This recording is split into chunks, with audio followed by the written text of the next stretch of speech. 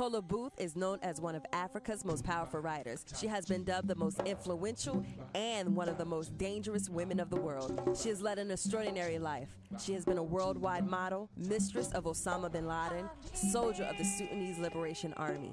She's a poet, she's an author, and she's coming to Baltimore Friday, December 9th at BeFRAMED Art Gallery, 8115 Liberty Road in Baltimore, Maryland, 21244. She'll be discussing her new novel, The Sexy Part of the Bible.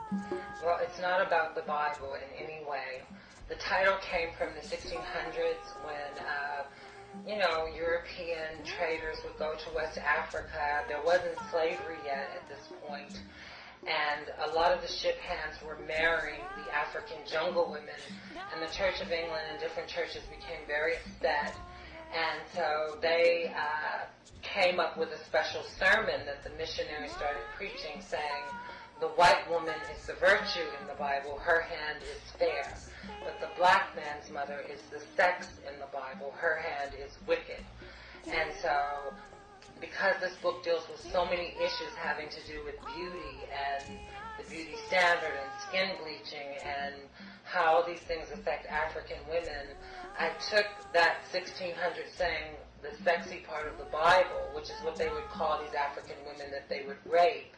You know, instead of saying, well, I slept with one of the natives last night, they sexy part of the Bible last night. Don't miss this conversation with Kola Boof, Friday, December 9th at BeFRAMED Art Gallery, 8115 Liberty Road in Baltimore, Maryland, 21244, as she discussed her new novel, The Sexy Part of the Bible. RSVP is a must and admission is $20, which includes an autographed book signed by Kola Boof, wine, and desserts. That's this Friday, December 9th, The Sexy Part of the Bible, a conversation with Kola Boof is sponsored by B Framed and the Black Girl Mob. The conversation starts at 8 p.m.